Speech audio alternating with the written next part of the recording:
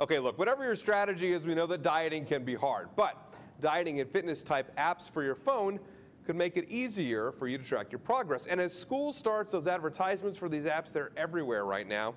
We join KAGS HD News reporter Monica Castro in the studio. Monica, turning to apps is becoming a trend now in the fitness world. Matthew, obviously there are pros and cons to apps, but on the positive note, apps help people better track their food intake as well as how much they work out. There's an app for just about anything you can imagine.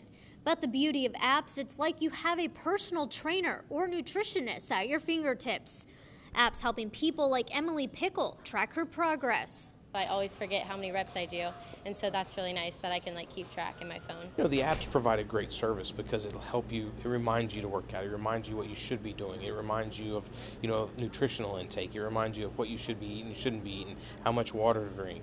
While we live in an app-driven world, I talked to the general manager of Innovative Fitness, who shares, in her opinion, what she believes is a great app that tracks what you eat and how you're exercising. MyFitnessPal um, it has a really nice diary, very comprehensive with the foods that are logged in there, so you don't have to look at the ingredient list all the time or the nutritional value list all the time. So, um, and then you can track your exercise. MyFitnessPal is free.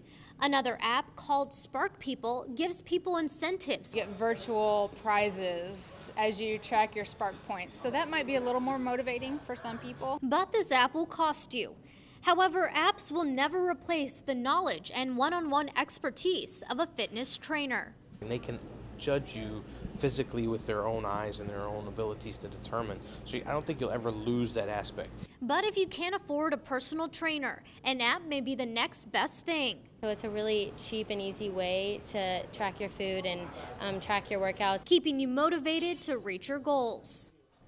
The Brazos Valley Sports Medicine head athletic trainer suggests really reading about the apps to find one that suits your goals. He also suggests that when starting off a workout routine, start off slow in order to avoid injury. Matthew?